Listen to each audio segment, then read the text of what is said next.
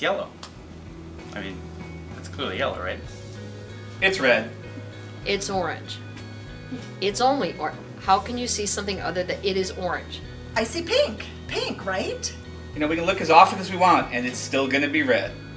It's orange. I'm gonna say it again. It's orange. Describe to me what you're looking at because this is yellow. Obviously, it's pink, people.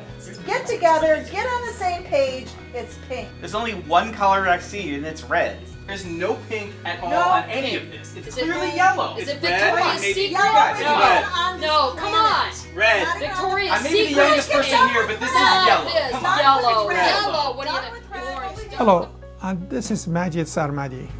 I'm a professor at University of Wisconsin-Madison, and I work with color and light. One of our visiting professors, Peter Krasko, and students created a demonstration for my class that we call it biomimicry, mimicking the feather of peacock. Peacock feather reflects light in different angle, different colors, and when you are at different position, each person sees different color. Now we have copied this biomimicry.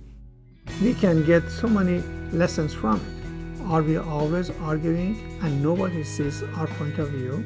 Have we ever tried to understand other person's point of view? By just moving toward them and see what they see from that point of view. If we do that, maybe we have a better understanding of each other. Maybe one of these days we can compromise on something and achieve something. Well, where can you use it? It's all up to you.